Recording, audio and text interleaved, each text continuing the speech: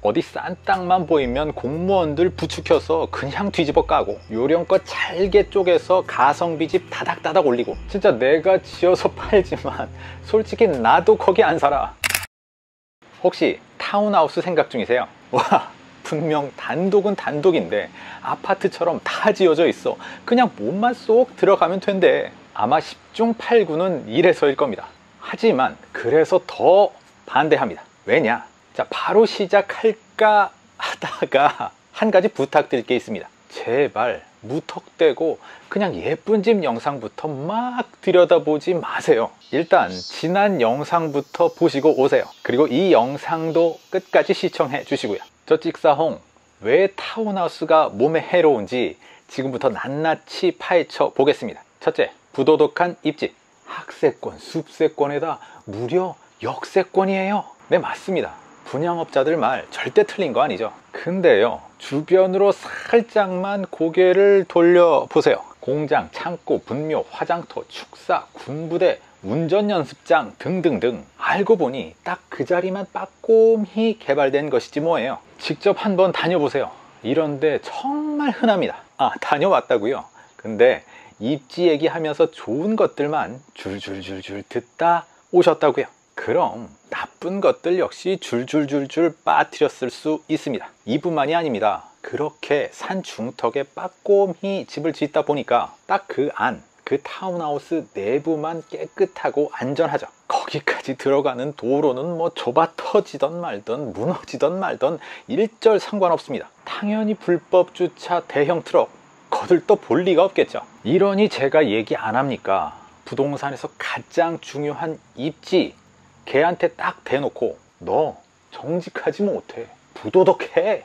라고요. 두 번째 작다. 그냥 작다. 집을 최대한 쥐어짜서 아껴가며 올리자. 아니 전국 타운하우스 협회에는 이런 표어라도 이렇게 붙어 있나 봅니다. 시행사가 크건 작건 집을 하나같이 요 코딱지만하게 짓기로 대동단결. 똑같은 40평이라 해도 1층, 2층 다락으로 쪼개놨을 확률 무척 높습니다 원래 2, 3층 다락까지 왔다 갔다 하는 게 그게 바로 단독의 비움이야. 뭘 잘 모르네. 모르긴요. 아닙니다. 그러다 무릎 타 나가요. 애들도요 어릴 때만 좀 신나지 좀만 크면 방 내려달라고 합니다. 왜? 더우니까. 그래 놓고 이럽니다. 주부의 동선을 고려한 아이들에게 꿈꾸는 다락방을. 하긴 그럴 수밖에요.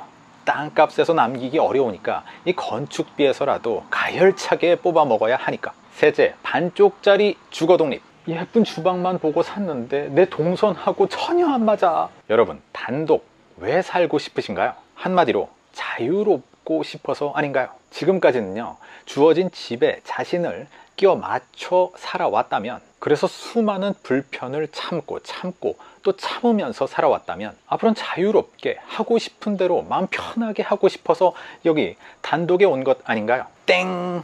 틀렸습니다. 여러분이 타운하우스에 들어온 이상 다시 한번 그 몸을 이 집에 구겨 넣어야 하죠. 타운하우스. 얘는요 아파트, 빌라, 오피스텔과 이종사촌이라 보면 거진 맞습니다. 나와 우리 가족의 라이프 스타일 따윈 out of 안중. 그야말로 반쪽짜리 전원생활 절반어치 주거 독립. 어느 날 우연히 타운하우스라는 놈과 만나서 몇 마디 진솔한 대화 나눠봤습니다 야, 우리 개가 마당에 좀 들어오기 편하게 해주면 안 돼? 1층 거실을 작업실로 썼으면 좋겠는데 주방 없애고 거기다 서재를 좀 놓으면 어떨까? 너안 됩니다 그냥 사세요 후시공 그저 가벽 하나 치워주는 거란 거 몰랐어요? 우리는 자랑스런 대한민국 타운하우스 이 가성비야말로 최대 미덕이죠 네가 원하는 단독주택 life 딱 이 가성비 안에서만 허락됩니다 그럼 이만 안녕 네 번째 나도 안 살아. 진짜 내가 지어서 팔지만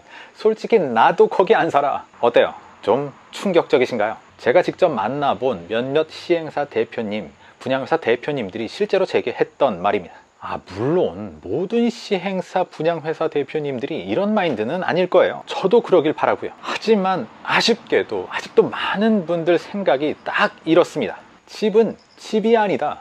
돈이다 어디 싼 땅만 보이면 공무원들 부추켜서 그냥 뒤집어 까고 요령껏 잘게 쪼개서 가성비 집 다닥다닥 올리고 현관, 주방, 화장실에 번쩍번쩍 금붙이 몇 개 주워 달면 아니나 다를까 금방 줄 서고 딱딱 몇 장씩 떨어지는 정말 신기한 돈벌이. 물론 저도 합니다. 이런 진흙탕 속에서도요 아주 귀하디 귀한 아주 보석 같은 타운하우스들 분명 있다는 걸요. 진짜 집을 돈으로 보지 않고 정말 내가 살 것처럼 아주 열심히 공들여서 만든 그런 집 분명 있다는 사실요. 자, 근데요.